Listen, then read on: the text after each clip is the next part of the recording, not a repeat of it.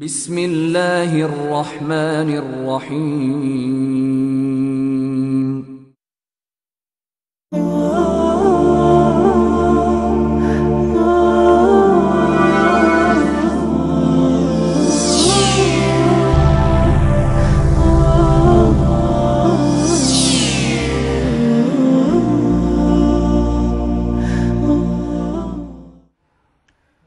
আসসালামু আলাইকুম রহমতুল্লাহি ওবরকাত আলহামদুলিল্লাহ রবিল আলমিন ওসলাত ওসালাম আলা সঈদুল মুরসালিম ওয়ালা আলিহি আসহাবিহি ওবারক ওসাল্লিম সুবহানাকালা আলমালানা ইল্লামা আল্লামতানা ইন্নাকা আনতাল আলিমুল হাকিম।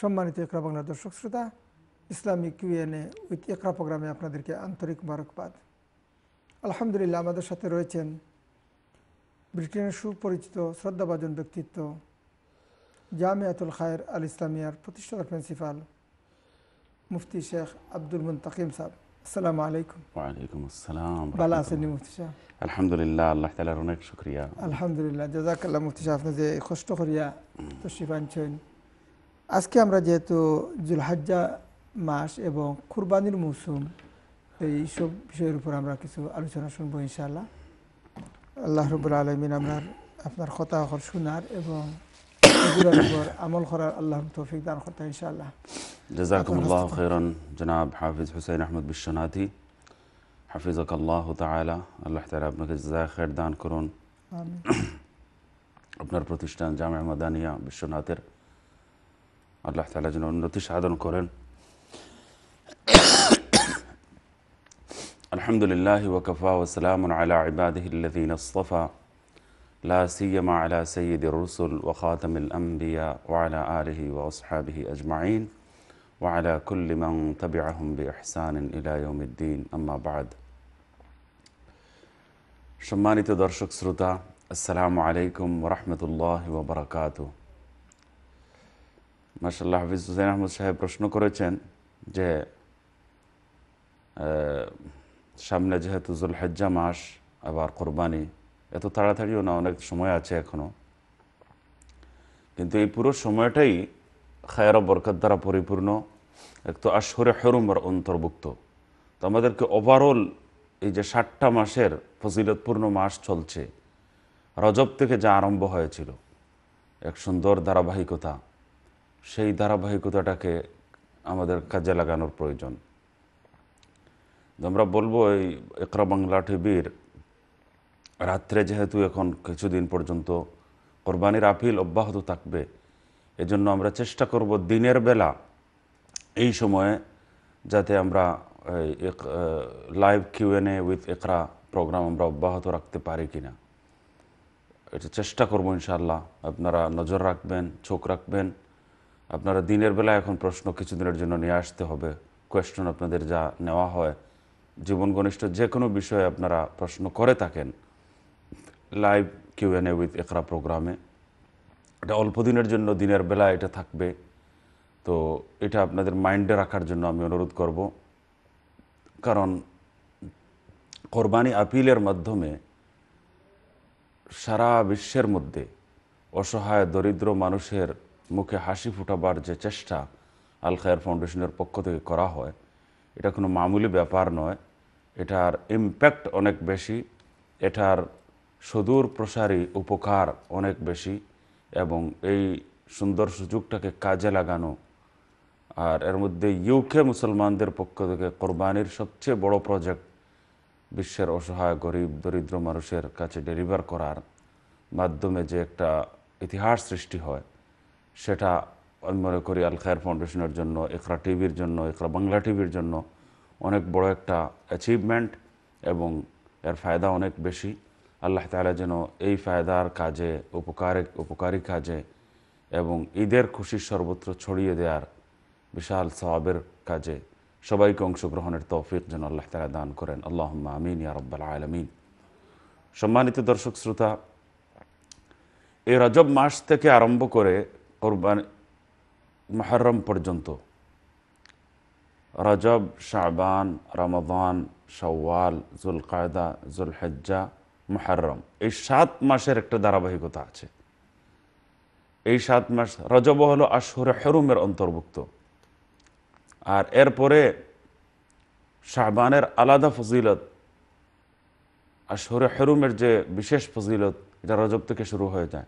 শাহবান আশহরে হেরুম না হলেও শাহবানের আলাদা পৃথক ফজিলত হাদিসের মধ্যে এত শানদার শব্দের মাধ্যমে উচ্চারণ করা হয়েছে, আলোচনা করা হয়েছে।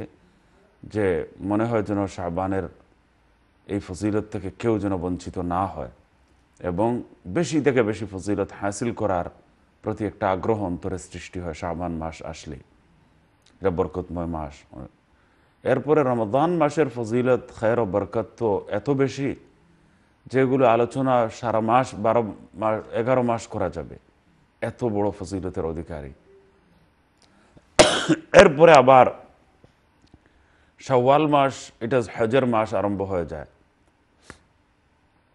রমদানের পরে যেন একটু ছুটি দেয়া হয়েছে, সামান্য বিরতি। এরপরেই আবার শেষ দশ দিন সওয়ালের এটা হাজার মাস। তো সওয়ালকেও হাজার মাস হিসাবে সওয়াল ওয়াজুল কায়দা ওয়াজুল হেজ্জা হাদিসে বলা বলা হয়েছে। জুল কায়দা আশহরে হেরুম, যে চারটি সম্মানিত মাসের অন্যতম, আর জুল হেজ্জাও আশহরে হেরুম অন্যতম শ্রেষ্ঠ। মাস। আর এরপরে আশারায় জুল হেজ্জা জুল মাসের প্রথম দশ দিন, দশ রাত। এটা এটা এত বেশি ফজিলতের যে অনেক হাদিস দ্বারা বুঝে যায় রমাজান রমাদান মাস থেকেও বেশি অনেক অনেক বেশি ফজিলতের। হাদিসের মধ্যে সরি, একটু ঠান্ডা লেগে গেছে।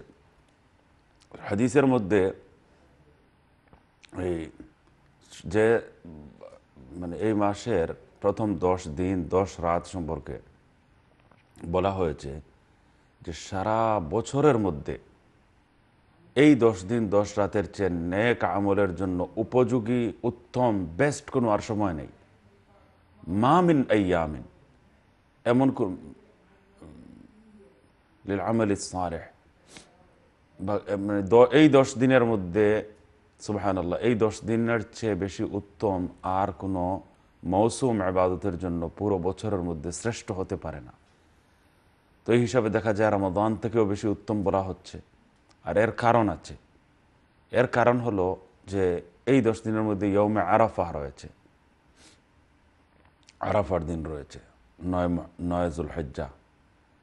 তো এরপরে পুরো আশা জুলহেজ্জা মাসের ফজিলত এরপরে মোহারমুল হারাম, যেটাকে শাহরুল্লাহ, আল্লাহর মাস বলা হয়েছে। তো এখন দেখেন, রজব থেকে আরম্ভ করে মোহারম পর্যন্ত সাত মাসের, ফজিলতপূর্ণ সাত মাসের আবাদতের মৌসুমের, বিভিন্ন আবাদতের সেলিব্রেশনের আল্লাহ তালা এক ধারাবাহিকতা সৃষ্টি করেছেন। আর এই ষাটটি মাস, এই সাত মাস কিন্তু চলে যাওয়ার পর আমার মধ্যে অন্তত একটা কমতি চলে আসে। সুহান আল্লাহ এখন সাত মাস আমরা মৌজ যেন করছিলাম আবাদত বন্দেগি এবং বিভিন্ন নেক আমলের অবাহিত সুযোগ আল্লাহ রব্বুল আলমিন আমাদেরকে দান করেছেন। তো এই সময়ের যে মধ্যে আল্লাহ তালা ওফদ্দালা জামান আন আলা জামান আল্লাহ তালা এক জামানাকে একটা সময়কে আরেক সময়ের মধ্যে ফজিলত দান করেছেন। এই বিষয়টা আমাদের জানতে হবে। আল্লাহ তালা সব জিনিসের মধ্যে একটা সিমিলারিটি তৈরি করেছেন, এটা ঠিক। কিন্তু কিছু জায়গাকে কিছু জায়গার উপর ফজিলত দান করেছেন। কিছু সময়কে, কিছু সময়ের উপর ফজিলত আল্লাহ তালা দান করেছেন। এর মধ্যে এই ফজিলত, চব্বিশ ঘণ্টার মধ্যে দেখেন, আল্লাহ তালা চব্বিশ ঘণ্টার মধ্যে তাহাজুদের সময়ের যে ফজিলত, এই ফজিলত কিন্তু অন্য সময়ের নেই। তাহাজুদের সময়ের একটা বিশেষ আলাদা ফজিলত, রাত, প্রতি রাতের শেষ তিন ভাগের এক ভাগে, শেষ। ওয়ান থার্ড নাইট এতে আল্লাহ রব্বুল আলমিন তার বিশেষ শান অনুযায়ী আল্লাহ তালা প্রথম আকাশে তার শান অনুযায়ী চলে আসেন এবং সমগ্র জমিনবাসীকে ডাকতে থাকেন।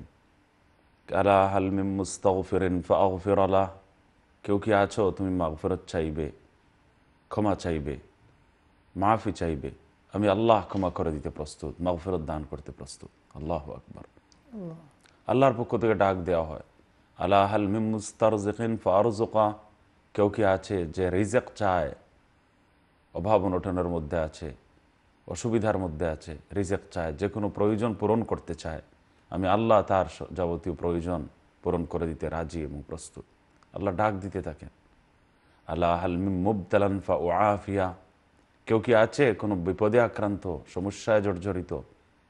প্রবলেম নিয়ে কষ্টের মধ্যে আমি তার প্রবলেম দূর করে দিতে প্রস্তুত। তো এখন আল্লাহ রব্বুল আলমিন আল্লাহ কাদা আল্লাহ কাদা এক একটা সমস্যার কথা উল্লেখ করে, এক একটা প্রয়োজনের কথা উল্লেখ করে আল্লাহর পক্ষ থেকে ডাক দিতে থাকা হয়, আল্লাহর পক্ষ থেকে আহ্বান জানানো হতে হতে থাকে কন্টিনিউ দেখেন, এই চব্বিশ ঘণ্টার মধ্যে দেখা যায় রাতের শেষ তৃতীয়াংশ, যখন আমরা সবাই গাফিল থাকি উচিত ছিল আমরা এসার পরে হাদিস অনুযায়ী জলদি তাড়াতাড়ি ঘুমিয়ে পড়ব। আর এরপরে আমরা এসার পর থেকে শেষ রাত্রে আমরা জাগব ফজরের আগে। আর শেষ রাতের তাহাজ্জুদের সময় যখন রাহমত নাজিল হয়, খায়ের বরকত নাজিল হয়, দোয়া কবুল হয়, আল্লাহর পক্ষ থেকে আহ্বান এবং সাড়া ডাক দিতে থাকা হয় ওই সময়টাতে আমরা খায়ের বরকত অর্জন করব। কিন্তু বেবরকতই এত বেড়ে গেছে। এই সময়টাতেই সবাই ঘুমায়। আর এর আগে আমরা জলদি তাড়াতাড়ি ঘুমাতে পারি না। দুনিয়াতে দেখেন, উন্নত বিশ্বতে, বিশ্বে খুব দ্রুত ঘুমানো হয়। তারা তাড়াতাড়ি ঘুমিয়ে পড়ে। সকাল আর্লি মর্নিং থেকে তাদের কাজ শুরু করে। আমরা এর সম্পূর্ণ উল্টো। তো এর বেবরকতি যেটা ইসলামের মধ্যে আমরা যারা আছি, মুসলমান হিসাবে আল্লাহ তালা আমাদেরকে যে ইমানের নামত আমাদেরকে দান করেছেন। আমাদের জন্য সকালকার বরকত যেটা, সেটা বেশি অর্জন করা উচিত ছিল। কিন্তু আমরা এর উল্টো করি। নিজেও ঘুমাতে হয়। কিন্তু সকালে আল্লাহ, আল্লাহর নবী সাল্লাহ আলী ইসলাম তার এক হাদিসের মধ্যে বলেছেন যে, আমার এই উম্মতের বরকত তার সকালবেলায় রাখা হয়েছে। সকালবেলায় বরকত রাখা হয়েছে, এটা তো রাত্রে তাড়াতাড়ি ঘুমাতে হবে। আর প্রথম পক্ষে ঘুমিয়ে ঘুম পরিপূর্ণ করতে হবে। তখনই কেবল সকালবেলা কেউ জাগ্রত থাকতে পারে। আল্লাহ তালা আমাকে আপনাদের সবাইকে এই বঞ্চনা থেকে মুক্তি দান করুন। আল্লাহ আমিন ইয়া রব্বুল আলামিন। অনেক বড় খায়রা বরকত থেকে আমরা বঞ্চিত। আল্লাহ তালা এই বরকত বরকত আল্লাহ তালা আমাদেরকে পরিপূর্ণরূপে অর্জন করার আল্লাহ যেন তৌফিক দান করেন। আল্লাহ আমিন। দ্বিতীয় আরেকটা, এরপরে আপনি দেখেন যে জুলকায়দা, জুলহেজ্জা জুলহেজ্জা মাস যখন আসে, এই জুলহেজ্জা মাসে সুবহান আল্লাহ আপনি অবাক হবেন যে প্রথম দশ দিন, দশ রাত, এর মধ্যে অন্যতম শ্রেষ্ঠ একটা আমল রয়েছে যেটাকে আমরা কোরবানি বলে থাকি সুবহান আল্লাহ কোরবানির দিকেও হাফিজ সাহেব আজকে ইঙ্গিত করেছেন যে কোরবানি খুবই গুরুত্বপূর্ণ একটা আমল।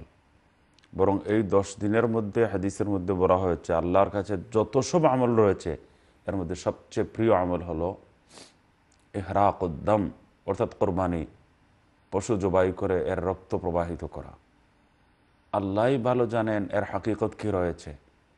এর দ্বারা মানুষের চরিত্রের উপর নৈতিকতার উপর, পুরো মানব সমাজের উপর, কী ধরনের উপকার যে সাধিত হয়, এর দ্বারা কী যে ফায়দা হয়, কী যে লাভ হয়, সেটা আসলে আমরা বুঝতেই পারব না। প্রত্যেকটা আমলকে আমরা বুঝতে চাই যুক্তির নিরিখে।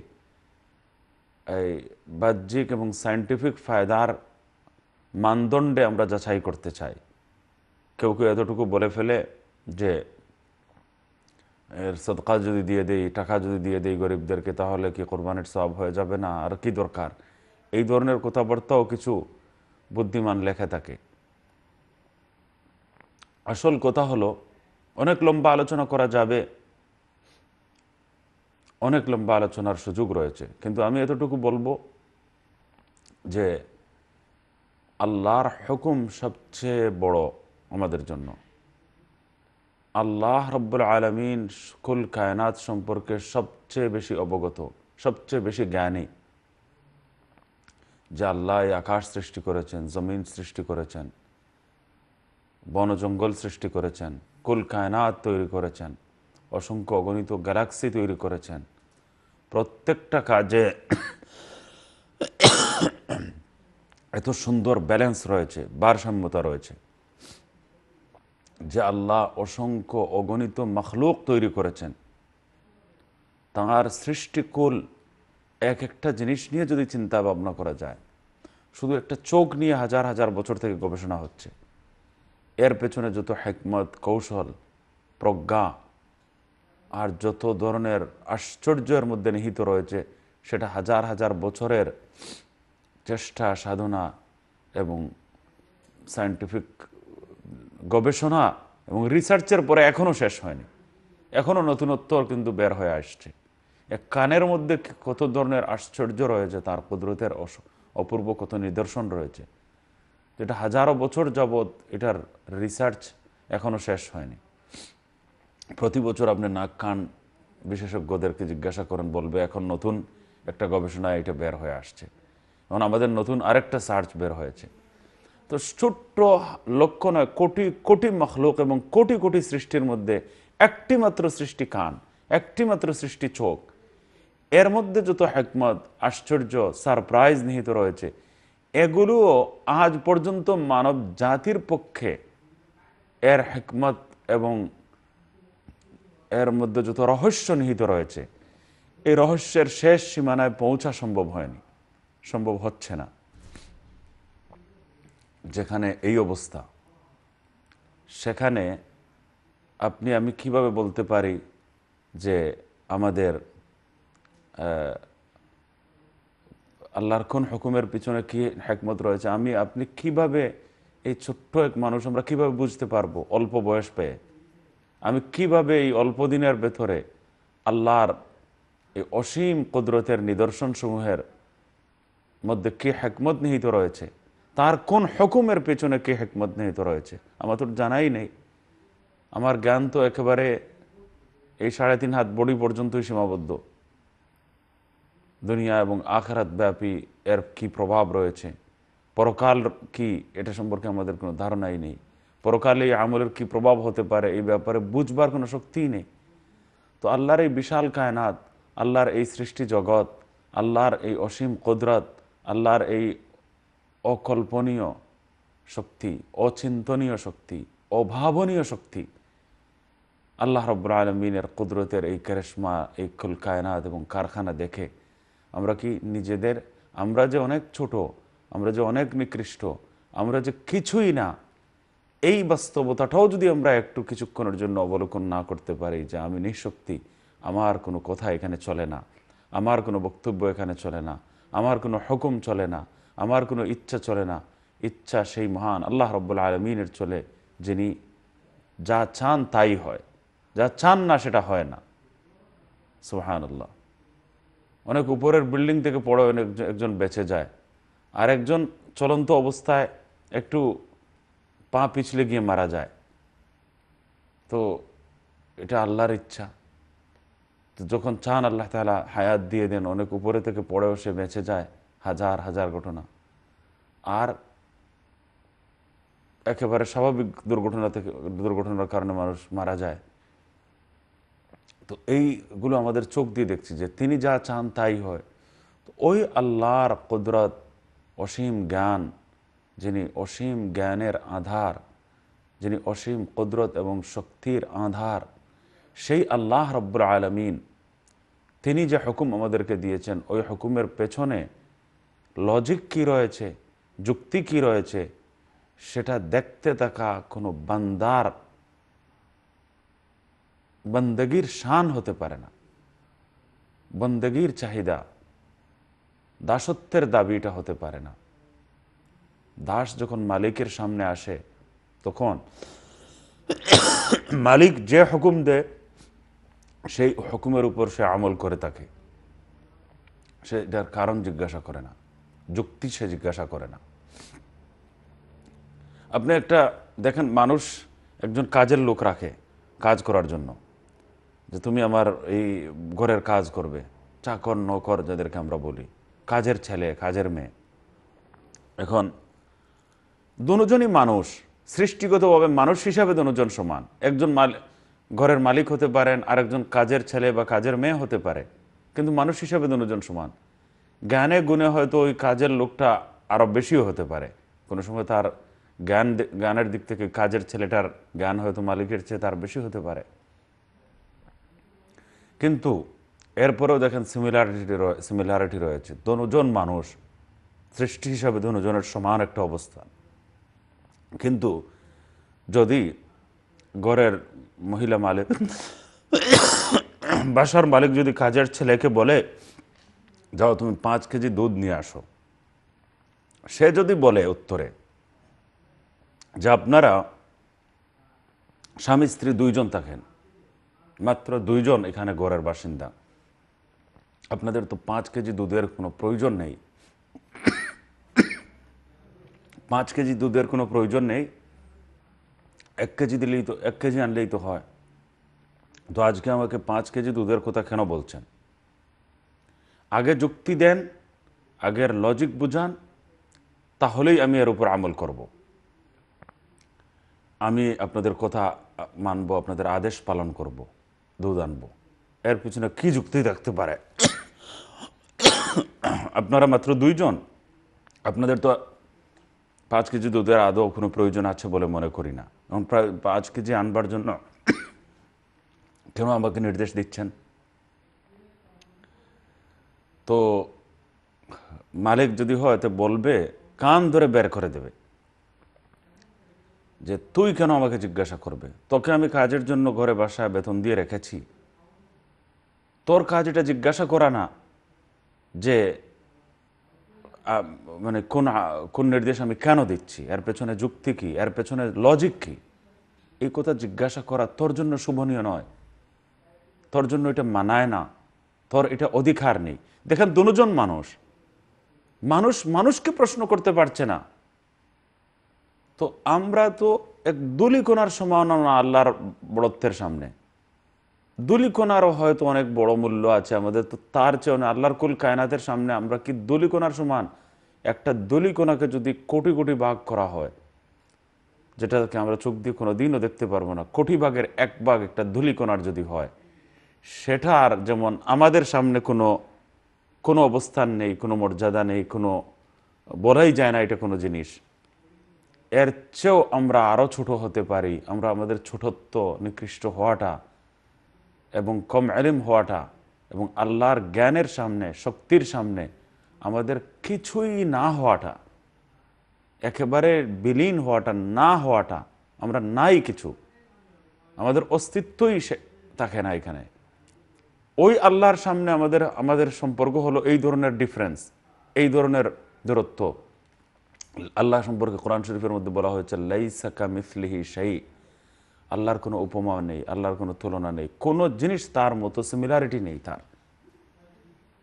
তো আমরা সিমিলারিটি তো হতে পারব না সিমিলার সিমিলার যে দুই মানুষ, সমান সমান যে দুই মানুষ, তারা একজন আরেকজনকে প্রশ্ন করে বলছেন আপনি যে কান ধরে বের করে দেওয়া হবে, এই পাঁচ কেজি দুধ আনার জন্য আমি নির্দেশ দিচ্ছি এটার পিছনে কি যুক্তি থাকতে পারে, এটা তো জিজ্ঞাসা করার অধিকার করতে পারে?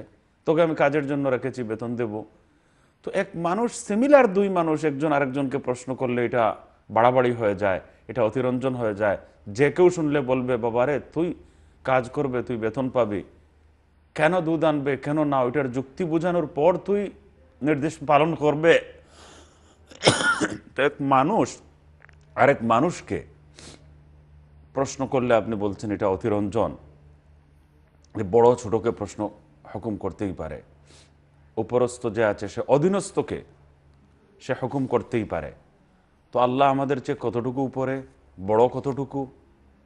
তিনি খালেক, তিনি মালিক, তিনি সৃষ্টিকর্তা। এখানে তো একজন আরেকজনের সৃষ্টিকর্তা নয়। সৃষ্টিকর্তা না হওয়া সত্ত্বেও দুজনই সৃষ্টি, মখলুক। এরপরও একজন আরেকজনকে প্রশ্ন করাটা অন্যায়। তো সেখানে খালেককে প্রশ্ন করা, মালিককে প্রশ্ন করা, হাকিমকে প্রশ্ন করা,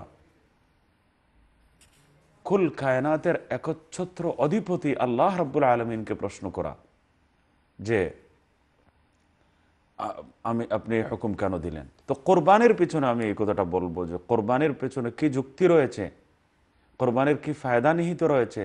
সায়েন্টিফিক ফায়দা কতটুকু আছে, কতটুকু না, এর চেয়ে বরং সবচেয়ে বড় বিষয় যেটা আমাদের দেখার, সেটা হলো এটা আল্লাহর হুকুম রসুল্লাহ সাল আলহি সাল্লামের পবিত্র সুন্নত এবং ওয়াজিব একটা আমল, নফল সুন্নত হিসাবে ওইটা করা যায়। তো আল্লাহ তালা এই কথাটা বুঝবার এবং কোরবানের মতো মহান আমলের উপর, নির্দেশের উপর সুন্দরভাবে উৎসাহ উদ্দীপনার সাথে আমল করার জন্য আল্লাহ তালা আমাদেরকে তৌফিক দান করেন। জাজাকুমুল্লাহ খায়ের মুফতি সাহেব অত্যন্ত গুরুত্বপূর্ণ আলোচনা আপনারা কাছ থেকে শুনতে পারলাম। ইনশাআল্লাহ যেহেতু ছোট্ট একটি বিরতি যেতে হচ্ছে, বিরতির পর আবার যখন ফেরত আসব ইনশাআল্লাহ আপনাদের কল নেওয়ার চেষ্টা করব এবং ফাঁকে ফাঁকে এই ওনার এই সুন্দর বক্তব্যগুলি শোনার চেষ্টা করব ইনশাআল্লাহ। আশা করি দর্শক শ্রোতা আমাদের সাথে থাকবেন। বিরতির পর দেখা হবে। আসসালামু আলাইকুম রহমতুল্লাহি ওবরাকাত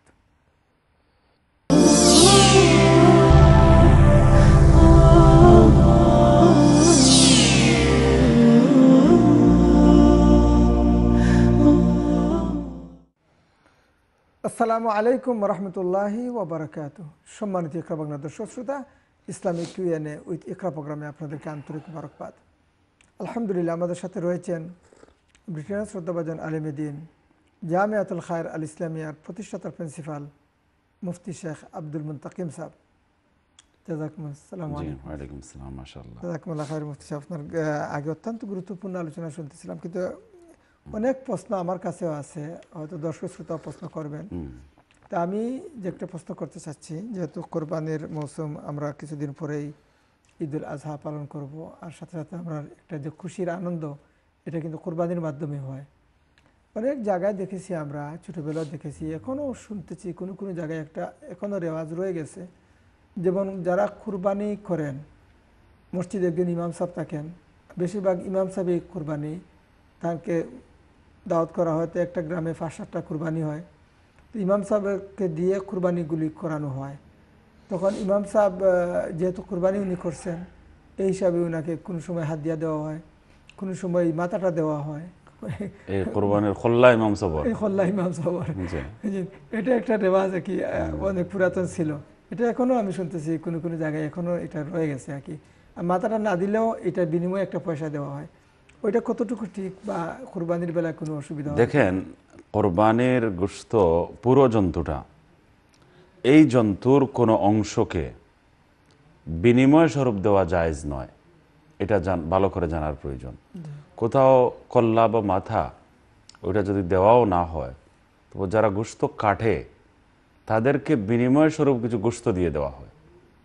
তো তাদেরকে, আর না হলে ওইটা মুখ দিয়ে না বললেও সাধারণত গোস্তের পরিমাণ তাদেরকে বেশি দেওয়া হয়।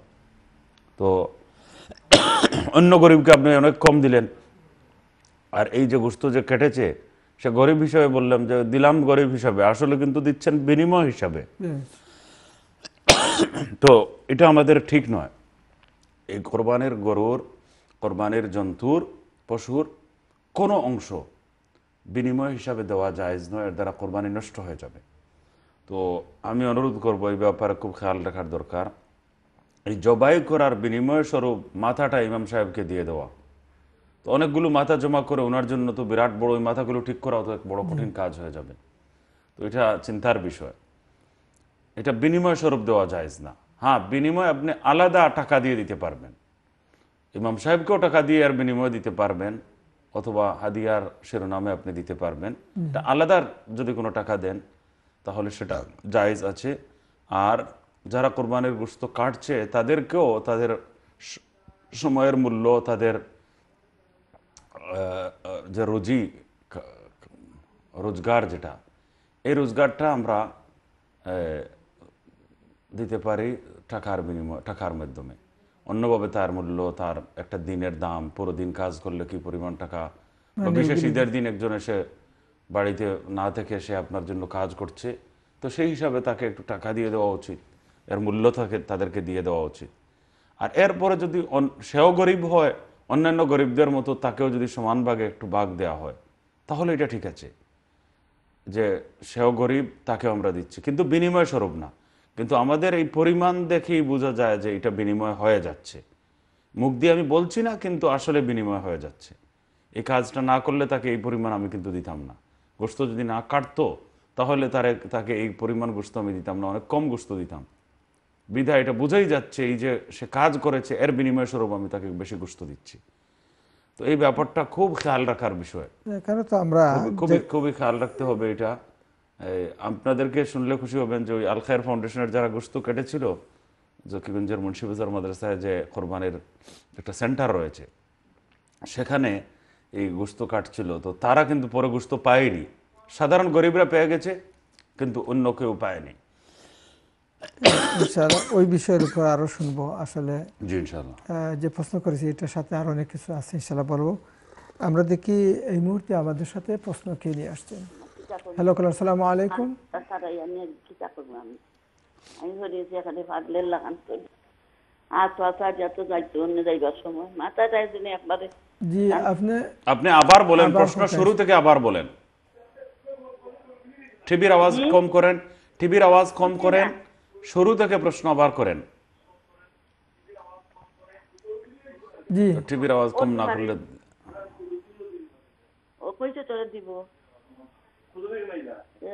ও আচ্ছা আপনি মানে কল না ধরিয়া আমার মনে হয় ঘরে কোনো না ফোনে না টেলি- টেলিভিশনে শুনবেন টেলিভিশন শুনরা। টেলিভিশনে শুনতেছেন। ওইটা ওনাদেরকে বলেন টেলিভিশন বন্ধ করেন ফোনে সরাসরি কথা বলেন এবং প্রশ্ন আবার করেন প্লিজ জি আমি মনে করি আমাদের যে আলোচনা উনি ইনশাল্লাহ বলবে।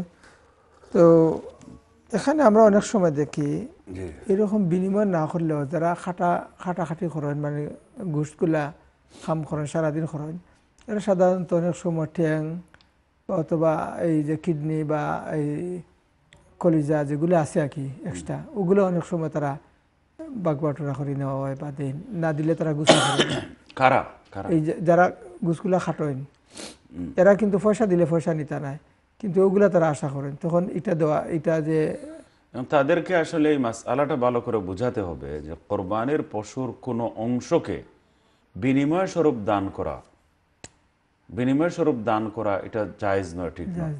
এই আশা যখন তারা সম্পূর্ণরূপে বাদ দিয়ে দেবেন তখনই তাদেরকে হয়তো পরে দিয়ে দিলাম আমি গরিব হিসাবে এই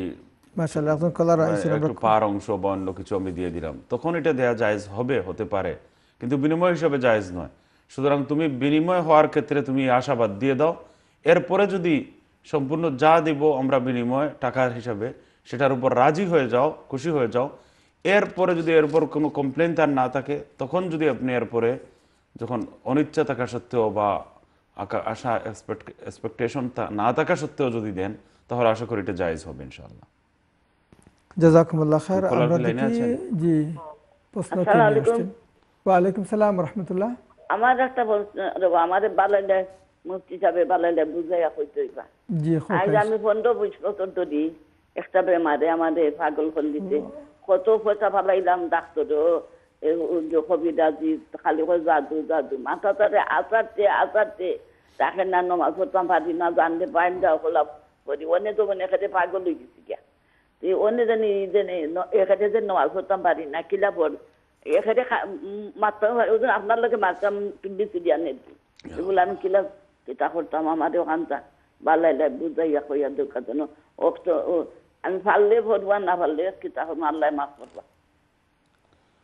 আল্লাহ।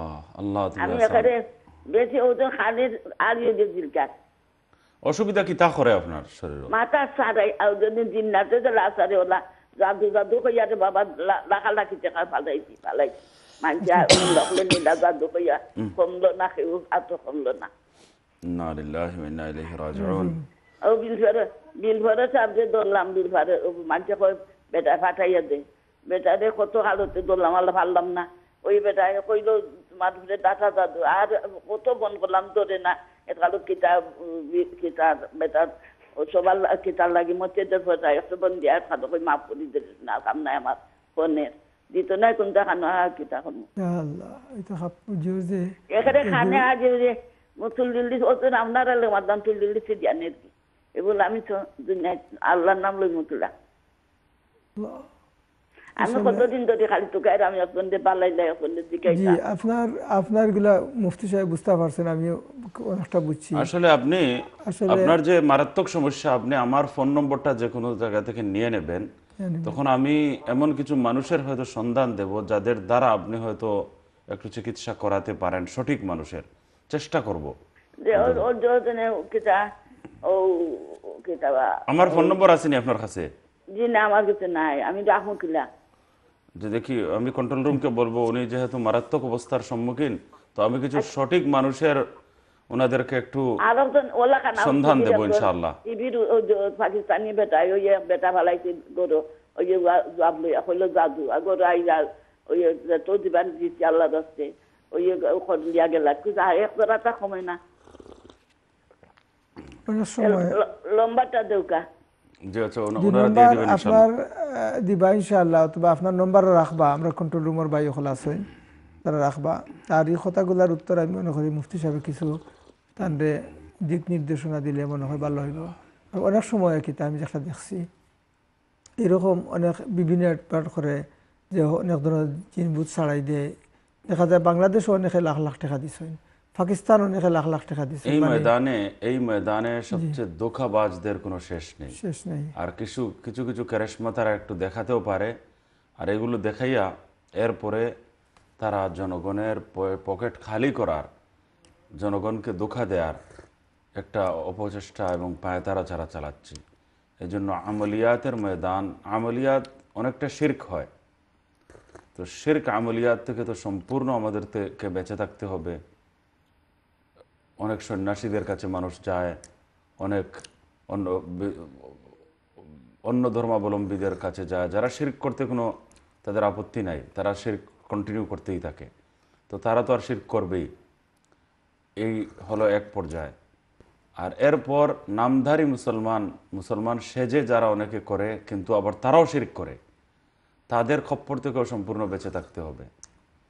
কিন্তু আরও কিছু মানুষ আছে যারা এই ধরনের কাজ, গর্হিত কাজ করে, শির কাজ, শিরকের কাজ করে, গুনাহের কাজ করে, হারাম কাজ করে। আর এর মাধ্যমে চিকিৎসার নামে তারা হাস, লক্ষ লক্ষ কোটি কোটি টাকা হাতিয়ে নেয়। জনগণকে ধোকা দেয়, ফ্রড করে, মানুষের অসুস্থতা, অপারগতাকে পুঁজি করে তারা মানুষকে একেবারে পকেট শূন্য করে ফেলে, অসহায় বানিয়ে ফেলে। ধনী মানুষ গরিবে পরিণত হয়ে যায়। অসহায়ত্ব চলে আসে জীবনে। ইভেন ইভেন লন্ডনে পর্যন্ত অনেক মানুষ যে, হুজুর, আমাদের তো টাকা, পয়সা সব শেষ হয়ে গেছে, যা ছিল সম্পদ সব শেষ।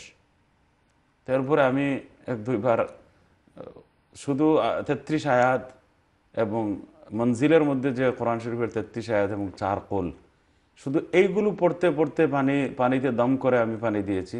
মানুষ মনে বলল যে আমরা তো ভালো হয়ে গেছি। একেবারে পাগল প্রায়। মানে বড় মানুষ কিন্তু ছোট পাঁচ, সাত বছরের বাচ্চাদের, চার বছরের বাচ্চার, তিন বছরের বাচ্চার যে দেমাগি কৈফিয়ত বা মনমানসিক, মানসিক অবস্থা, এটাও কোরআনে করিম পড়ার বদৌলতে আল্লাহ তালা দূর করে দিলেন। আর কিচ্ছুই লাগল না। সহজে আল্লাহ তারা করে দিতেন এই সময়টুকু আমার নেই। ডেইলি যা ফোন আসে, এই ব্যাপারে আমি যদি এই কাজ শুরু করে দিই, চিকিৎসার কাজ, তাহলে মনে হয় আমি আর এক মিনিট ফ্রি বসতে পারব না।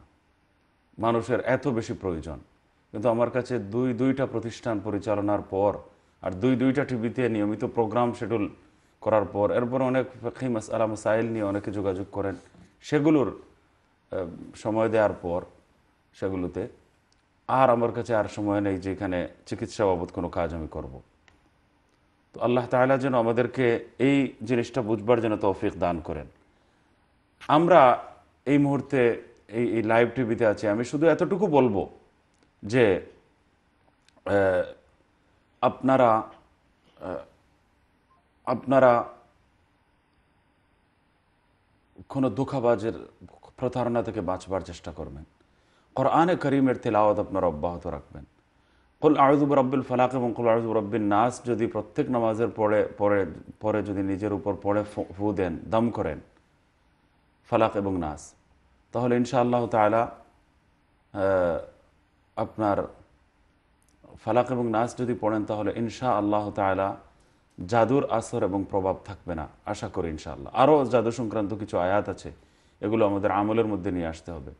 প্রতিদিন রাত্রে ঘুমানোর আগে চার কুল এবং আয়াতুল কুরসি। এটা যাদের বেশি রোগে আক্রান্ত সমস্যায় খারাপ স্বপ্ন দেখেন আপনারা সাতবার পড়বেন। চার কুল ধরেন একবার কমপ্লিট করলেন চারটাই প্রথমে আউদুবিল্লাহ মিনা শৈতান রাজিম বিসমিল্লাহ রহমান রহিম। এরপরে কুলিয়া ইউহাল কাফিরুন। এরপরে বিসমিল্লাহ পড়ে খুলফু আল্লাহ আহাদ। এটা শেষ করে বিসমিল্লাহ পড়ে, কুল আউজু রব্বিল ফালাক। এরপরে বিসমিল্লাহ পড়ে খোলাউদ রব্বিন নাস। এটা একবার কমপ্লিট করার পর হাতে এইভাবে ফু দেবেন আর এরপরে প্রথমে চেহারা মাসাহ করবেন।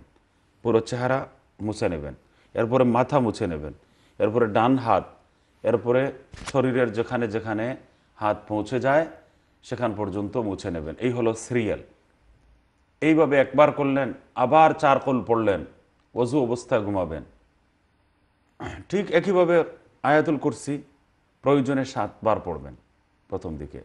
আর শেষে স্থায়ী আমল তিনবারের অন্তত অব্যাহত রাখবেন। এই কাজটা যদি সবাই করে নিতে পারেন, অজু অবস্থায় যদি ঘুমান, আর আরেকটা কাজ যদি আপনারা করে নিতে পারেন টয়লেটে যান, ছোট হন, বড় হন। মাথা এবং পা যেন খালি না থাকে। টয়লেটের জন্য আপনারা আলাদা স্যান্ডেল ব্যবহার করবেন। খালি পায়ে যাবেন না। অনেকে পরিষ্কার, পরিচ্ছন্ন রাখার জন্য টয়লেটের ভিতরেও শুধু খালি পায়ে যান। না। ওইখানে ক্লিন পরিষ্কার, পরিচ্ছন্ন একটা স্পঞ্জ বা স্যান্ডেল কিছু রেখে দেবেন, যেটা শুধু টয়লেটের ভেতরে ব্যবহার হয়। খালি পায়ে যাবেন না। মাথাও খালি থাকবে না। কারণ এই যে ছোটো ছোটো মেয়েরা যায়, তাদের মাথায় তো ওই সময় অন্য থাকে না। তো অ্যাটলিস্ট ওইখানে ছোট্ট একটা টাওয়াল রেখে দেবেন। পুরুষ হন, মহিলা হন, ছোট হন, বড় হন, সবাই যেন প্রস্রাব পায়খানার জন্য টয়লেটের প্রয়োজন যখন সারবেন, তখন যেন মাথায় এই টাওয়ালটা রাখে, থাকে। অথবা মাথায় ওন্না থাকে, টুপি থাকে। আর না হলেও একটা কাপড় থাকে। আল্লাহ নবী সাল আলহি আসাল্লাম সর্বাবস্থা খালি মাথায় কোনোদিন টয়লেটে যাননি। টুপি থাকলে তো আর টুপি আছেই। টুপি না থাকলে আল্লাহ নবী সাল্লাহ আসলাম কোনো কাপড়ের টুকরো দিয়ে দিয়েছেন। কাপড় নেই আল্লাহ নবী গাছের পাতা ব্যবহার করেছেন। আর সেটারও সুযোগ নেই কোনো সময় যদি হয়, তাহলে নিজের হাত দিয়ে মাথা ডেকে রেখেছেন। এখন নবীজির যুগে ওই সময় টয়লেটে বসা অবস্থায় না পাখির হালত থাকে না পাখি বের হচ্ছে।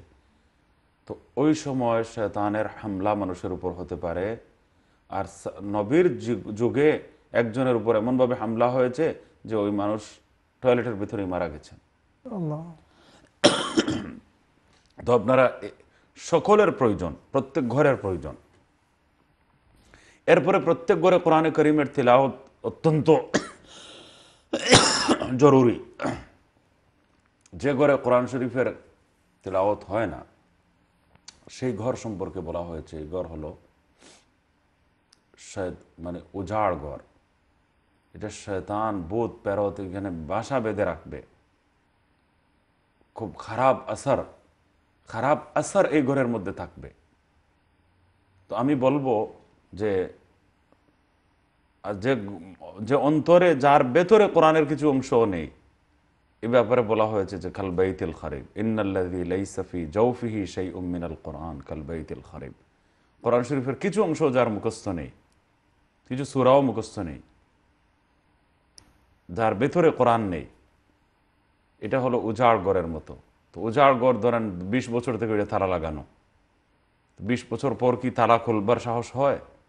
তারা খুলতেই জানি না, এখানে সাপ বের হয়ে আসবে না, কত বিষাক্ত কীট পতঙ্গ এর ভেতরে থাকবে।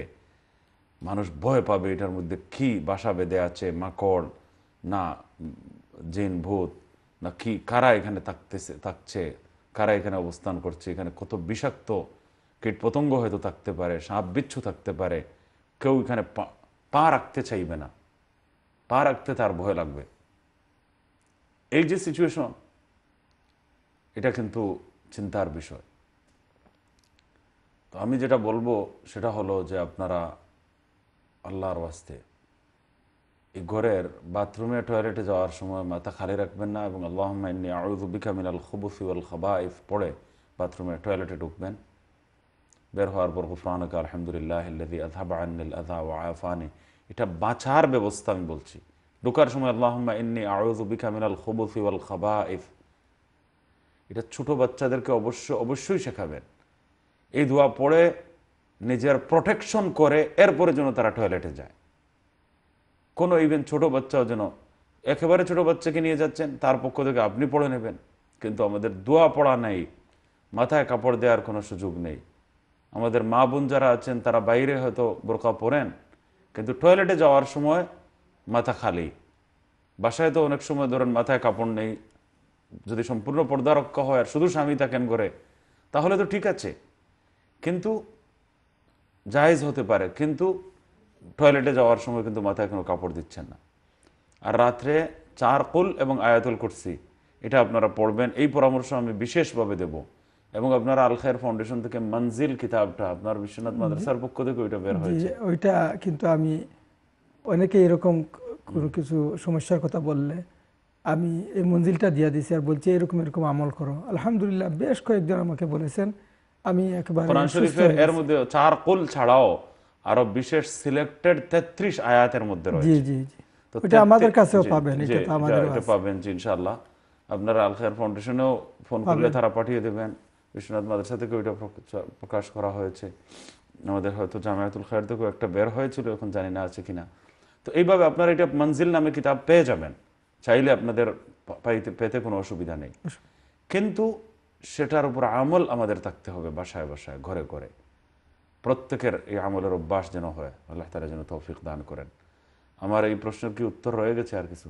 না এটা ঠিক আছে আলহামদুলিল্লাহ। এটা আর আর তো এটা একটা গুরুত্বপূর্ণ বিষয় অনেকেই কিন্তু এইরকম আর আরেকটা মশালা কোরবানি আসছে আপনারা যার মাধ্যমে কোরবানি করাবেন প্রতিনিধির মাধ্যমে কোরবানি করানোর ব্যাপার অনেকগুলো মশালা কিন্তু রয়েছে।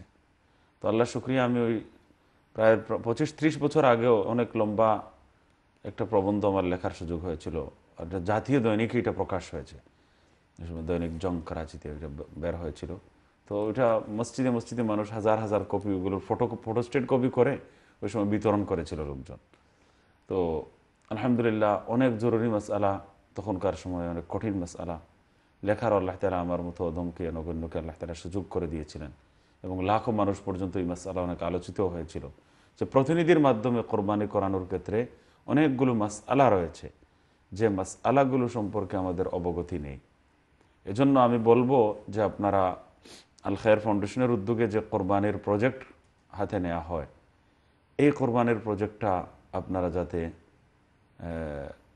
হাত ছাড়া না করেন এবং এটাতে অংশগ্রহণ করেন এবং নিজেদের উদ্যোগে যদি প্রতিনিধির মাধ্যমে কোরবানি করান, তাহলে এই কোরবানিটা যেন সঠিক নিয়মে সঠিকভাবে হয় এই ব্যাপারে মাস, আলা মাসাইল জেনে নেওয়ার একটু চেষ্টা যেন করেন আপনারা। খুব জরুরি একটা বিষয়। এই জন্য যত জরুরি মাস, আলা মাসাইল আছে, এগুলো জানবার আমরা যেন চেষ্টা করি।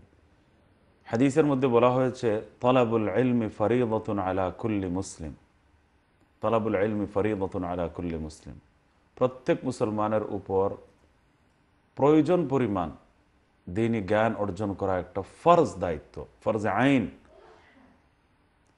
এটা প্রত্যেক মুসলমানের উপর দিনই জ্ঞান অর্জন করা ফরজ। এটা কতটুকু?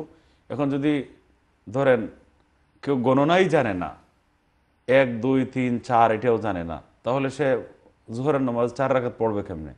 সে গণনা জানেই না, ফর এক্সাম্পল এখন দু, দুই আর চারের মধ্যে পার্থক্য বুঝে না, তিন আর দুইয়ের মধ্যে পার্থক্য বুঝে না। সে মাগরিবের নামাজ ফরজ কীভাবে পড়বে আর সুন্নত কীভাবে পড়বে? তো এইটুকু জানাও ফরজ কিন্তু প্রত্যেকের উপর। হ্যাঁ যদি কেউ মানসিক ভারসাম্য হারা হয়, তাহলে সা- মাজুর সে অপারক তার ব্যাপার ভিন্ন।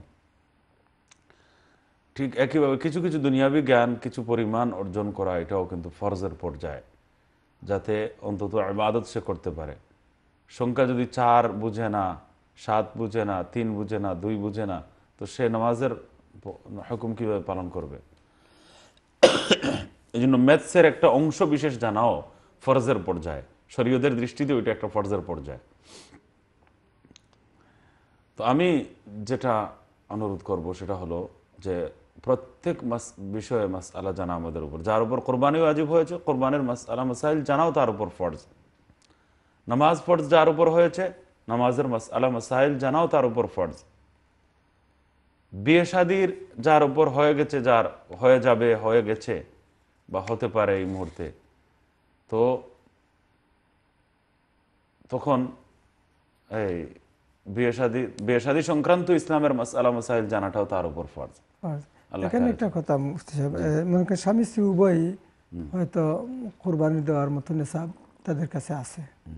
এখন যদি একজন দিয়ে দেন একটা কি দুজনের পক্ষে কি আদায় হবে? এটা একটা ভুল কথা সমাজের মধ্যে প্রচারিত করা হয় যে ফ্যামিলির পক্ষ থেকে একটা একটা দিয়ে দিলে হয়ে যাবে। এটা সঠিক কথা নয়। কোরআন যা- তাহলে যেসব হাদিস দ্বারা বোঝা যায় যে আল্লাহ নবী সাল্লাহ ইসলাম ফ্যামিলির পক্ষ থেকে দিয়েছেন এই মর্মে যে সমস্ত হাদিস এসেছে এর মধ্যে কোনো কোনো বর্ণনা এসেছে যে আল্লাহ নবী সাল্লাহ ইসলাম পুরো উম্মতের পক্ষ থেকে একটা কোরবানি দিয়েছেন। তো উম্মতের পক্ষ থেকে দুইশো কোটি মুসলমানদের পক্ষ থেকে দু চারজন দিয়ে দিলেও ওইসব হাদিস দ্বারাই প্রমাণ কেউ করতে পারে যে তার কোরবানি হয়ে যাবে। কিন্তু আমার একটা ভিডিও ক্লিপস রয়েছে, এক দুই মিনিটের মাত্র। ওইটা আপনারা হয়তো দেখে নিতে পারেন যে পুরো পরিবারের পক্ষ থেকে একটা কোরবানি কি যথেষ্ট? এর মধ্যে আমার নাম যদি লেখেন, এই কথাটা লিখে, তাহলে আমার নাম লিখতে হবে। তখন আমার এই ভিডিও ক্লিপটা বের হয়ে আসবে। বাংলায় যদি লেখেন। তো আসল হলো কয়েকখানা হাদিস দ্বারা এই বিষয়টা একেবারে সুস্পষ্ট যে আল্লাহর নবী সাল্লাহ আলী সাল্লাম বলেছেন যে তোমাদের মধ্যে প্রত্যেক মানুষের উপর প্রত্যেক বছর কোরবানি ওয়াজিব। ইন্না লিকুল্লি রাজুলিন লিকুল্লি আমিন উদহাইয়া এই এই মর্মে একটা হাদিস আছে একজাক্টলি রাজুল শব্দ এসেছে না অন্য শব্দ এসেছে মানে প্রত্যেক পার্সনের উপর প্রত্যেক বছর কোরবানি ওয়াজিব। দ্বিতীয় কথা তমাম ফোকাহায় কারাম এ মর্মে বলেছেন যে কোরবানির নেশাব যার, যে কোরবানির নেশাবের মালিক হবে, তার উপর কোরবানি ওয়াজিব। তো এখন এরপরে অন্য হাদিসের মধ্যে বলা হয়েছে যে, একটা গরু দিয়ে আপনি সাতজনের কোরবানি জায়জ হতে পারে। মাত্র সাতজনের কোরবানি, এর চেয়ে বেশি মানুষের কোরবানি জায়জ হতে পারে না। শুধু সাতজনের। আর একটা বকরি দিয়ে, একটা ছাগল দিয়ে, একটা মেষ দিয়ে, দুম্বা দিয়ে, বেড়ি দিয়ে মাত্র একজনের কোরবানি হবে। একটা গরু বা উঁট দিয়ে সাতজনের বেশি থেকে বেশি কোরবানি হবে। এখন এই হাদিস দ্বারা বোঝা যায় যে একটা বড় উঁট দিয়েও সাতজনের বেশি মানুষের ওয়াজিব কোরবানি আদায় হবে না। একটা বড় গরু দিয়েও বেশি থেকে বেশি সাতজনের চেয়ে অতিরিক্ত মানুষের কোরবানি আদায় হবে না। আর আপনি আবার বলছেন, একটা ছাগল দিয়ে দশ জনের ফ্যামিলির সকলের কোরবানি হয়ে যাবে। এটা স্ববিরোধী কথা হয়ে গেল না? যে একটা ছাগল দিয়ে দশ জনের ফ্যামিলির সকলের কোরবানি হয়ে যাবে। আর ওই হাদিসের কি মর্ম দাঁড়াবে? এই দুটার মধ্যে ভারসাম্য কীভাবে আপনি রক্ষা করবেন? এই দুনো হাদিসের মর্মর মর্মর মধ্যে একটা সিমিলারিটি আপনি কীভাবে অর্জন, আপনি নিয়ে আসবেন? এটা সম্ভবই হবে না। তো এই জন্য প্রত্যেকের উপর আলাদাভাবে কোরবানি ওয়াজিব হয়। যার যারা যারা নিসাবের মালিক হবেন, যারা সাবালক, ছেলে হন বা মেয়ে হন। জাজাকুমুল্লাহ খার মুফতি অত্যন্ত গুরুত্বপূর্ণ। আমরা আলোচনা শুনতেছিলাম যেহেতু ছোট্ট একটি বিরতি যেতে হচ্ছে। বিরতির পর আবার যখন ফেরত আসব, আপনাদের কল নেওয়ার চেষ্টা করব। আশা করি দর্শক শ্রোতা আমাদের সঙ্গে থাকবেন। বিরতির পর দেখা হবে। আসসালামু আলাইকুম রহমতুল্লাহি ওবরাকাত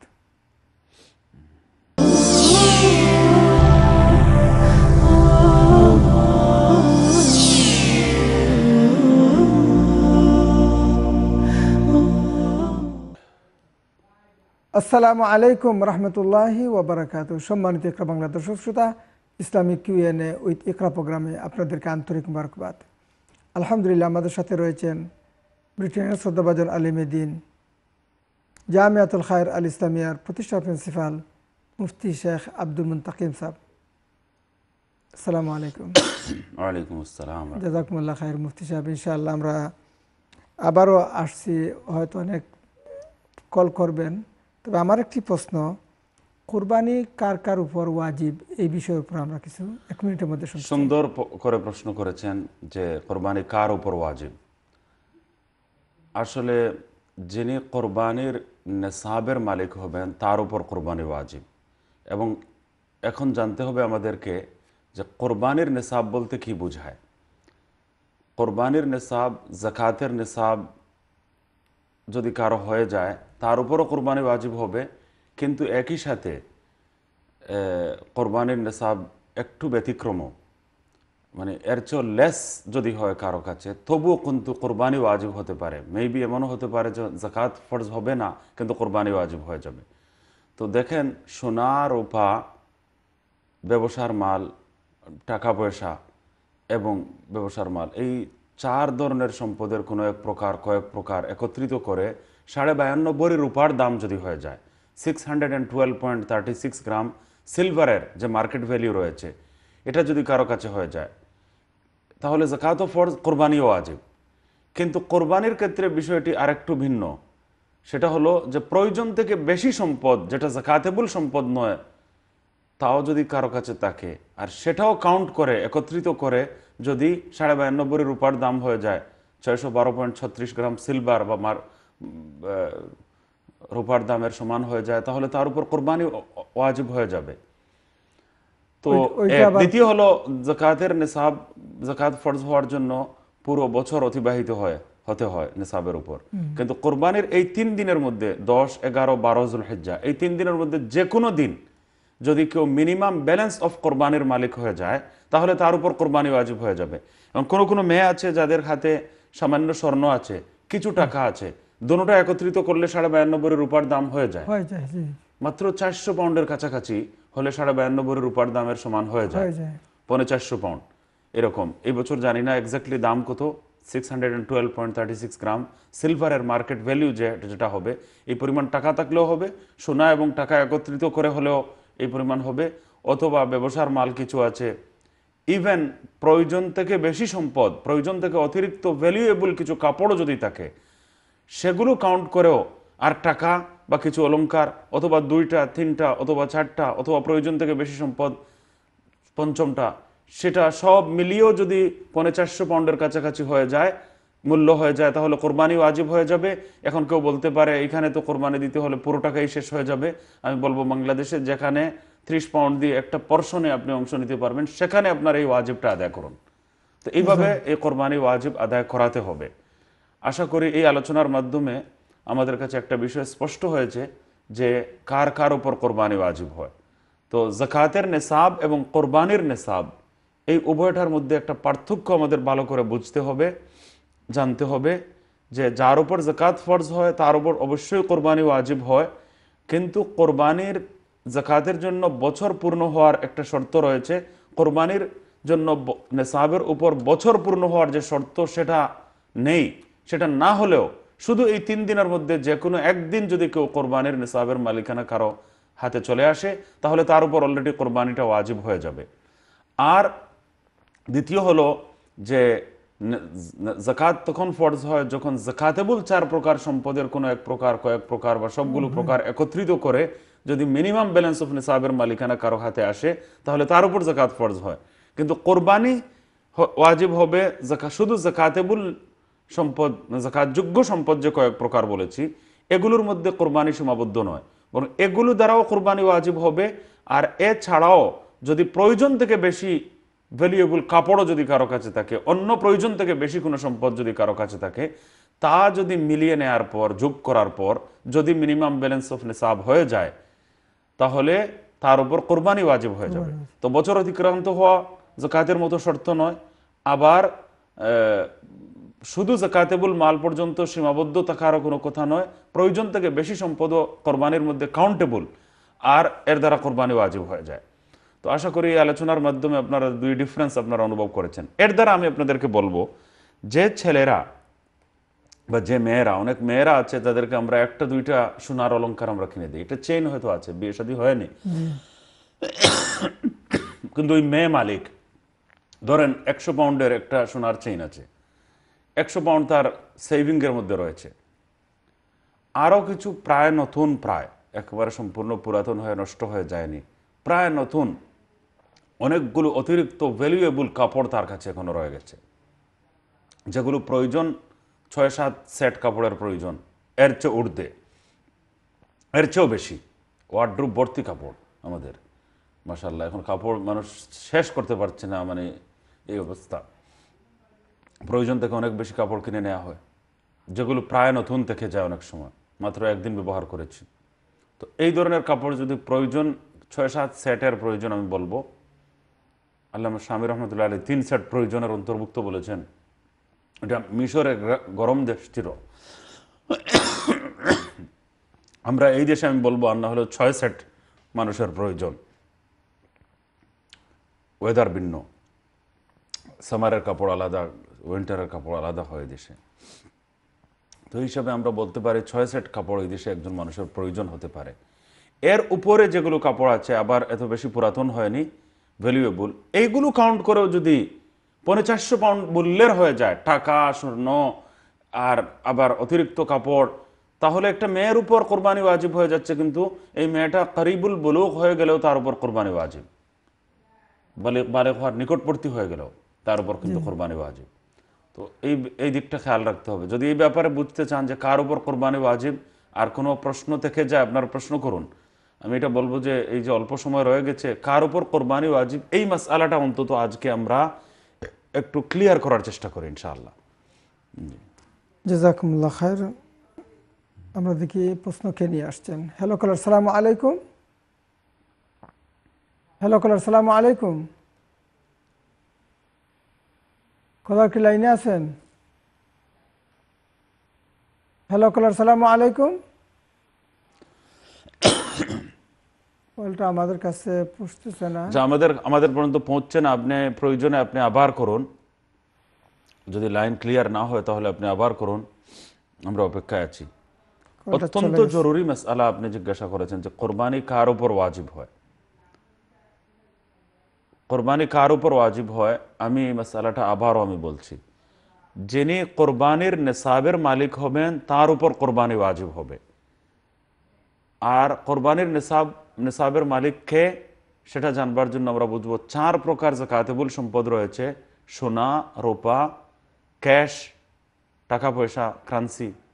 আর আরেকটা হলো বাণিজ্যিক পণ্য, ব্যবসার মাল। বিজনেস গুডস বা সেইলেবল মাল, যেটাই বলেন। তো এই চার প্রকার সম্পদের কোনো এক প্রকার বা কয়েক প্রকার একত্রিত করে যদি সাড়ে বায়ান্ন ভরি রূপার দাম হয়ে যায় six hundred and twelve point thirty six gram সিলভারের বাজার মূল্য হয়ে যায় মার্কেট ভ্যালু হয়ে যায়, তাহলে এটা নেশাবের জাকাতের নেশাবের ওইটা পরিমাণ, কোরবানির নেশাবের ওইটা পরিমাণ। কিন্তু কোরবানির নেশাবের মধ্যে প্রয়োজনের অতিরিক্ত জিনিস সামিল করেও, অন্তর্ভুক্ত করেও কাউন্ট করেও যদি সাড়ে বায়ান্নব্বই রূপার দাম six hundred and twelve point thirty six gram সিলভারের দাম হয়ে যায় তাহলে কোরবানির নেশাব হয়ে যাবে। প্রচুর কলার লাইনে চলে এসেছেন আমরা কল নিয়ে নেই জি ইনশাল্লাহ ইনশাল্লাহ হ্যালো কলার সালাম আলাইকুম। হ্যালো আসসালাম আলাইকুম। ওয়ালাইকুম সালাম রহমতুল্লাহ বরকাত জি হোক আপনার প্রশ্ন? আমার একটা প্রশ্ন আছে আপনার কাছে। জি হোক ইনশাল্লাহ আচ্ছা আমি আহ, কুমড়াতে গেছিলাম। জি। আপনার নভেম্বর মাসেও। তো আমার একটু আমার বয়স সেভেন্টি এখন। আমি উমরাতে গেছিলাম আমি মাঝে মধ্যে একটু ভুলে যাই মাঝে মধ্যে। তো আমি এখন অবস্থায় আমি ভুললে আমি মাথা ফ্রাই দিচ্ছিলাম তা আমার কিটা এটা দম দেওয়া লাগবে না। মাথা কিতা করছিলা আসলে ইসলাম আছি বুঝছেন চিরনি দিয়া এটা আশ্রা ইসলাম কিছু আশ্রা চুল পড়ছে নি? পড়ছেনি পড়তে পারে এমনি আমার চুলটা পরি যার পরে। পড়তে পারে আমি ভুলে গেছি পড়ছে না কিটা কিন্তু আমি তাহলে একটু চিন্তিত আছি কি যে আমার দম দেওয়া লাগবে নি। ও মনে হলকা গেছে চুল হয়তো আছে এমনি আমার চুল পড়ে যায়। আচ্ছা তো আমি একটু চিন্তিত আছি আমি আমার যদি দম দেওয়া লাগে আমি কীরকম প্রসেস করতাম আমার একটু কইয়া দিবা। জি না ইনশাল্লাহ ই- খাম্বর কারণে দম ওয়াজিব হইতো না চুল যদি কিছু অনিচ্ছাকৃতভাবে পড়ে যায়। অনেক আমি বলি আমি যে আপনি আপনি হদুদে হারামের ভিতরে কোন হাজি সাহেব বা উমরাত যারা যায় তারার মাধ্যমে আপনি আমার ছেলে যারা ইবারে উমরাত ইনশাআল্লাহ তা নকলতা এখন খালি আপনার আপনি অপেক্ষা মাসআলা থাকে। শুনিলে কো আপনি আনাইলে অসম্পূর্ণ রয়ে যাব কথা। আচ্ছা কিতা দিতাম কলকাতায়? না আপনি কোন উমরাত জানেওয়ালার মাধ্যমে ও হদুদে হারামের ভিতরে হারামের যে এরিয়ার ভিতরে বা যেখানে গরিব মানুষ পাওয়া যায় কোনো গরিবের মধ্যে একটা বা দুইটা ফিতরার সমান পয়সা আপনি দিলেন জানি। যদি আর ফিতরার দরকার আমরা ওদের সাথে ফিতরা দেই ফার্স্ট পাউন্ড ফার্স্ট পাউন্ড করে দিলেন জানি আপনি দশটা পাউন্ড হকানো গরিব হলরে দশ পাউন্ডের সম পরিমাণ আপনি ইয়ে দেওয়াইলেন জানি একটা দশটা পাউন্ডের সম পরিমাণ হো হা- হা- হারামর যে সীমানার ভিতরে সমস্ত আচ্ছা ও নিয়তে দেওয়াইলেন জানি যে আমার যদি কোনো ভুল ত্রুটি হইয়া থাকে জি। আর আমার উপরে যদি ফিতরা সম পরিমাণ সদকা ওয়াজিব হইয়া থাকে এটার এখন কোনো সময় সদকা ওয়াজিব হয় কোনো সময় দম ওয়াজিব হয়। তো সদকা আবার দুই প্রকার। একটা হইল কি ফিতরা স্বরূপ সম পরিমাণ বড় সদকা ওয়াজিব হয়। আর আরেকটা হইল কি এক মুঠ গম বা এক মুঠ চাউল পরিমাণ সদকাও আজিব হওয়া তো এখন এক মুঠ গম বা এক মুঠ সদকা পরিমাণের লাগি কোনো কোনো ভুল ত্রুটি ছোটোখাটো হইতে থাকে এর কারণে এক রেয়াল দুই রেয়াল পাঁচ রেয়াল এটা সব সময় দিতে থাকা উচিত। কারণ কোনো সময় ছোটোখাটো ভুল হল ওইতে আছে আমরা এগুলো জানিয়েন না। বা খেয়াল করিয়েন না। এগুলো আবার একটা একটা চুল যদি পড়ে তো একটা সদকা জরুরি। তো মানে এক মুঠ দান পরিমাণ এক মুঠ চাউল পরিমাণ এক মুঠ গম দেওয়ার পরিমাণ। তো এটা মনে করো এক রেয়াল দিলাইলা এখন এক পাউন্ড পরিমাণ একজন মানুষের না দিয়া যদি এই যে কিছু পশু পাখি আছে যেগুলা জি না পশু পাখির না। মানুষের মালিক বানাই দিতে আর হদুদে হারাম বা হারামের সীমানা যে আছে সময়সিয়া এরিয়ার ভিতরে পর্যন্ত। জি। সময়সিয়া এরিয়ার ভিতরে পর্যন্ত যে মিনাতা কি লাগাইয়া? জি না ওই যে ভিতরে ঢুকার আগে যে একটা একটা সীমানা আছে আপনি একটা তো লোক মিকাত একবারে মিকাত, জিদ্দার আগে। তো মিকাত নাই মিকাত ওই লোক হারামের এক সীমানা। আর এরপরে সুমাইসিয়া এলাকাত গেলে একটা গেট আছে অন থেকে হালাল হারামর আর একটা সীমানা। আর এর বাদে মসজিদ হারামর ভিতর সীমানা। তো মসজিদ হারামর ভিতর সীমানা এখানে উদ্দেশ্য নাই। বরং সুমাইসিয়া পর্যন্ত হালাল হারামর যে দ্বিতীয় সীমানা যেটা ও সীমানা ও সীমানার ভিতরে ই দমও দেওয়া লাগে সদকাও দেওয়া লাগে। তো এই সদকাটা মনে করো হারামর বাহিরে যারা খাড়া তখন গরিব অনেক মেয়ে খোলা আছেন সোমালিয়ানো তখন অন্যান্য দেশের আফ্রিকান কান্ট্রির তখন। মানে হলো কা আহ, যারা হারামর ভিতরে কাজ করেন না এরা এরা এরা না যারা করে এরা নাই। বাহিরে অনেক আসুন যারা ভিক্ষা চাইন এরার মধ্যে থেকে খবর দিবা। খাদ যারা করেন এরা হয়তো নেশাবর মালিক উইয়া হারছেন এরার তো বালা বেতন থাকে। বালা বেতন নাই। অনেকের আছে আবার খুব কম বেতনও থাকে আর অনেকের আছে যে সময় যারে দিরা এ সময় লেস দেন নেশাব হইতে হইব সব হইতে হইব এটাও বুঝতে এটা বুঝার ব্যাপার এটা দেখতে আমরা প্রচুর কলার লাইনে। আচ্ছা। আশা আশা করে উনি বুঝতে পেরেছেন কাকে দিবেন। আমরা দেখি পরবর্তী প্রশ্নকে নিয়ে আসছেন। হ্যালো কলার সালাম আলাইকুম। আসসালামু আলাইকুম। ওয়ালাইকুম সালাম রহমতুল্লাহ। হুজুর আমার একটা প্রশ্ন হুজুর কুরবানি সম্পর্কে। জি খোকা ইনশাল্লাহ একটু জোরে প্লিজ যে আমরা যে এদেশে কুরবানি দেই হুজুর বুঝছেন? জি। তো এদেশে তো আপনার আমরা কুরবানি দিলাম আত্মীয় স্বজন দিলাম আর গরিবর যে অংশটা এটা আমরা কিলাহান দিতাম। আচ্ছা গরিবের গরিবের মানুষ অংশ ঠিক আছে এই ব্যাপারে আমি কথা বলছি আপনি শুনেন প্রশ্নের উত্তর। আর কোনো প্রশ্ন আছে আপনার? জি না আর কিছু না ঠিক আছে আপনার সাথে থাকুন জি কোরবানি কোরবানির ব্যাপারে মাসআলা হলো যে উত্তম পন্থা হলো বেস্ট ওয়ে এবং সর্বশ্রেষ্ঠ উত্তম পন্থা হলো কোরবানির ব্যাপারে যে কোরবানির গোস্তকে তিন অংশে ভাগ করা বেশি ভালো। এটা হলো উত্তম পন্থা। আর তিন অংশ, অংশে ভাগ করে এক ভাগ নিজেদের খাবারের জন্য রাখা, এক ভাগ প্রতিবেশী এবং আত্মীয় স্বজনকে দেওয়া আর এক ভাগ নেহায়ত গরিব যারা তাদেরকে দিয়ে দেওয়া। তো এখন আমরা করি কি মানে এটা হলো বেশি উত্তম পন্থা। কিন্তু পুরো কোরবানির সকল গোস্ত শুধু নিজের জন্য রেখে দেওয়াও জায়েজ আছে। কোরবানি হয়ে যাবে। আল্লাহ আমাদের জন্য, আপনাদের জন্য, সকলের জন্য হালাল করেছেন। কিন্তু মুস্তাহাব হলো, উত্তম পন্থা হলো তিন ভাগ করা, এক ভাগ নিজে খাওয়া, এক ভাগ আত্মীয় স্বজন প্রতিবেশীকে দেওয়া, এক ভাগ নেহায়ত গরিব যারা তাদেরকে দিয়ে দেওয়া।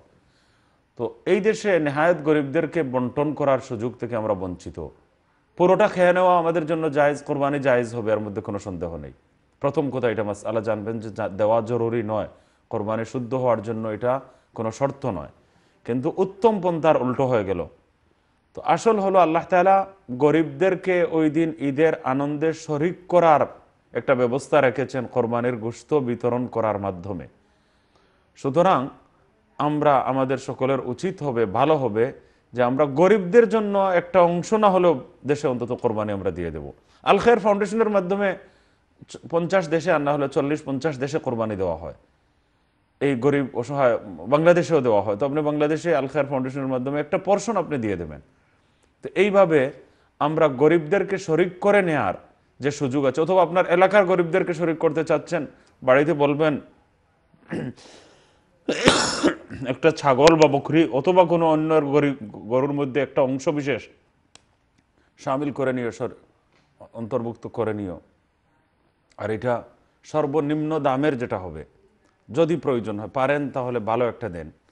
কিন্তু গরিবদেরকে অন্তত সামিল করার, শরিক করার অন্তর্ভুক্ত করার কথাটা যেন আমরা ভুলে না যাই। এই মুস্তাহাবের উপর যেন আমরা আমল করি, কারণ দ্রব্যমূল্যের দাম অনেক বেশি, দ্রব্যমূল্য অনেক বেড়ে গেছে। ঊর্ধ্বগতি এটা সহ্য সীমার বাইরে এবং অসংখ্য গরিব মানুষ কিন্তু অনন্য উপায় হয়ে ঈদের খুশি থেকে বঞ্চিত। বিদায়, আমরা এই কোরবানির ঈদের সময় গরিবদেরকে যেন ভুলে না যাই। আর আমি এই দেশের কথা বলব যে এই দেশেও যেন কিছু কোরবানি আমরা করি, কিছুটা হলেও কোরবানি করা উচিত, যাতে এই দেশের বাচ্চারা একটু বুঝতে পারে যে কোরবানির একটা বিধান আছে এবং এই সুন্নতের উপর আর একজন প্রচুর কলার লাইন রয়েছেন। আমরা দেখি এই মুহূর্তে আমাদের সাথে প্রশ্ন কে নিয়ে আসছেন। হ্যালো কলার সালাম আলাইকুম। وعلیکم السلام ورحمۃ اللہ وبرکاتہ وعلیکم السلام ورحمۃ اللہ جی میں مفتی صاحب سے سوال کرنا چاہتی ہوں جی میرا سوال یہ ہے کہ میرا بیٹا سولہ سال کا ہے کیا اس پہ قربانی واجب ہے ہاں سورہ سال اگر ہو اور اس وہ نصاب قربانی کا اگر مالک ہے تو اس کے اوپر قربانی واجب ہے۔ تو نصاب قربانی یعنی سمجھ لیں تقریباً چار، لگ بھگ چار سو پاؤنڈ کے آس پاس یعنی ایگزیکٹلی سکس ہنڈریڈ اینڈ ٹویلو پوائنٹ تھرٹی سکس گرام سلور کی جو بازاری قیمت ہے، وہ ہے نصاب قربانی کی مقدار۔ تو اتنا پیسہ اگر کسی کے پاس ہے، یا مال تجارت وغیرہ ملا کر کیش ملا کر، یا پھر آپ سمجھیں کہ اس کے پاس تجارتی مال اگر ہے، سیلیبل مال اگر کوئی اتنا ہے، تو اس کے اوپر قربانی واجب ہو جائے گی، یا ضرورت سے زیادہ مال کاؤنٹ کر کے بھی، شامل کر کے بھی اگر مقدار نصاب قربانی کی برابر ملکیت پائی جائے، تو سولہ سالہ بیٹے پر قربانی واجب پندرہ سال تو وہ بالغ ہونے کی عمر ہے ہی۔ تو پندرہ سال ہو جائے تو وہ ہر بالغ پر نماز تو لازمی فرض ہے۔ اس کے علاوہ جتنے احکامات ہیں، سارے احکامات لاگو ہوتے ہیں۔ تو قربانی کا حکم بھی اس کے اوپر لازمی ہوگا۔ بشرطے کہ وہ نصاب قربانی کی ملکیت اس کے اندر اس کے پاس پائی جائے۔ تو اگر پیسے کم ہوں تو اس صورت میں جہاں قربانی سستی ادا کی جاتی ہو وہاں پر قربانی ادا کر دی جائے۔ بات سمجھ میں آ گئی ہوگی۔ جواب کلیئر ہو گیا؟ اچھا میرے خیال میں وہ لائن میں نہیں ہے۔ ٹھیک ہے۔ انشاءاللہ پھر بھی اگر کوئی سوال باقی رہ جاتا ہے تو آپ دوبارہ کال کر لیجیے گا انشاءاللہ۔ জাজাকুমুল্লাহ আমরা দেখি পরবর্তী প্রশ্ন কে নিয়ে আসছেন। হ্যালো কলার সালাম আলাইকুম। ওয়ালাইকুম সালাম রহমতুল্লাহ। জি। হোক আপনার প্রশ্ন। আমি কইতাম চাইলাম যদি আমরা আছি ওর কুরবানির গরু দিলাম জি। আমরা তো ওদের জি। অন গরু দিলাম। একটা দেশের মানুষের করি। তখন এরা গরুর নিশুল্লাহ তারা কিতা বুঝায় সিং বাটি বা তার আরও কোন কুতা আছে এটা এটা কোনটা দেখা লাগেনি এটা কোনটা হইলে কুরবানি হয়নি না এটা দেখা জি এটা এটা খুব গুরুত্বপূর্ণ প্রশ্ন আপনি করছেন সিংবাঙ্গা হইলে এটা কোরবানি হয় আরও কিছু আরও কিছু আছে বয়স থাকতে হইব সিং থাকতে হইব বেআইব থাকতে হইব নির্দোষ জন্তু থাকা জরুরি তো নির্দোষ হইতে হইব ল্যাংড়া হইলে হইতো না বা অন্যান্য বহুত কিছু দেখা লাগে না এটা এটা আসলে এখন এর লাগি জরুরি হইল সিং নাই সিংটা দিও সিং। ওটা আ- আছে তার বিদ্যমান আছে। দেখতে উনতে টাকা পয়সা কোথায় দেখতে সুন্দর আছে মুঠা তাজা। সিং বাট্টি লাগি ওটাই কোনো না জিনা সিং বাট্টি হইলে কোনো অসুবিধা নাই। সিং থাকতে হইব। সিং বাঙ্গা হইতো না। আর বাঙ্গা হইতো না অ্যাক্সিডেন্টলি ভাঙ্গি গেছে এরকম হইতো না তাহলে কোরবানি ওয়াজিব হইব আর অন্য অন্য যত কোরবানের জন্তুর মধ্যে যে সমস্ত শর্ত আরোপ করা জরুরি এগুলোর মধ্যে কোনো কমতি হইতো না এর লাগে আপনারা সঠিক এবং নির্ভরযোগ্য যে প্রতিনিধি যারার উপরে আস্থা স্থাপন করা যায় ওলা মানুষ দিয়ে করেন জানি জিও নাইটা তো আমরা তো দেশের মানুষের করে করে দিদা তো আমরা তো নিজের মানুষকে নাই দেশ দিলাই আমরা ষাট হাজার সত্তর হাজার আশি হাজার যত দিবার দিলাই তো তারা কোনকু খিলা দিরা না দিরা এটা আল্লাহ জানাই আচ্ছা আর একটা জিনিস আমি জিজ্ঞা করি আমরা আছি ওই দেশ আমরা বাড়িতে কিবা দিলাম আমার স্বামীর বাড়ি ওন আমার মা বাবার লাগি যদি মা হোক বাবার হোক তারা এক নাম দিয়া দিয়ে আমি চাই এক পছন্দ দিতাম এইটা এইটাকে মা বাবার খবর যায়নি আর তারা কিছু পাইনি আমার একটা টাকা কাছে অবশ্য অবশ্যই যায় আর আমরা কিছু গান পক্ষ থেকে কোরবানি দেওয়া উচিত আমি উৎসাহিত করে, উদ্দীপিত করে আল্লাহ নবী সাল্লাহ আলহি সাল্লামে গান আখলার পক্ষ থেকে কোরবানি করছেন। আমরারও করা উচিত। যারা সামর্থ্য আছে। কিন্তু এটা ওয়াজিব নাই ওয়াজিব নাই কম্পালসারি নেসেসারি নাই এটা হইল গিয়ে একটা মুস্তাহাব আমল, নফল আমল। এটা রেখা জরুরি মনে করতাম না। আবার এটা ঠিক না মনে করিয়া অপপ্রচারও চালাইতাম না। আর ভুল আলাও ছড়াইতাম না যে মধ্যে গান আল্লাহর পক্ষ থেকে কোরবানি করার কোনো বিধান নাই। এই জাতীয় ভুল তথ্য এবং ভুল কথা আমরা প্রচা- প্রচার করেন যারা আল্লাহ এরার এই এই ধরনের খাজ থেকে আল্লাহ তারার বিরত থাকার তৌফিক দান করুক। আল্লাহর নবী সাল্লাহ ইসলামে হল ফ্যামিলি মেম্বারের পক্ষ থেকে করছেন এরার মধ্যে অনেক দুনিয়া থেকে বিদায় নিছেন গিয়া। তো এর দ্বারা বোঝা গেল মধ্যে গানের পক্ষ থেকে কোরবানি জায়েজ। অত্যন্ত গুরুত্বপূর্ণ। আপনি বিভিন্ন প্রশ্নের উত্তর দিয়েছেন। দর্শক শ্রোতা আশা করি এগুলি বুঝতে পেরেছেন অনেক উপকৃত হচ্ছেন এবং আপনার এই আলোচনা দ্বারা অনেকে উপকৃত হচ্ছেন। যেহেতু আমাদের সময় শেষ হওয়ার জন্য আর আমরা কল নিতে পারলাম না বলে দুঃখিত। আশা করি দর্শক শ্রোতা আপনাদের প্রশ্নের মাধ্যমেই এই ইসলামিক ইউএনএ ওই একরা প্রোগ্রাম আলোকিত হচ্ছে। এই প্রশ্নের উত্তর দেওয়ার জন্য মুফতি শেখ আব্দুল মুন্তাকিম সাহেবকে মুবারকবাদ জানাচ্ছি আপনাকে অনেক অনেক ধন্যবাদ। জাজাকাল্লাহ সম্মানিত ইকরা বাংলা দর্শক শ্রোতা নিয়মিত Islamic QnA with Iqra programme দেখার আমন্ত্রণ জানিয়ে আজকের মতো এখানে বিদায় নিচ্ছি। ভালো থাকুন সুস্থ থাকুন। সুবহানাক আল্লাহুম্মা বিহামদিকা আশহাদু আল্লা ইলাহা ইল্লা আনতা আস্তাগফিরুকা ওয়া আতুবু ইলাইক। আসসালামু আলাইকুম রাহমাতুল্লাহি ওয়া বারাকাতুহু।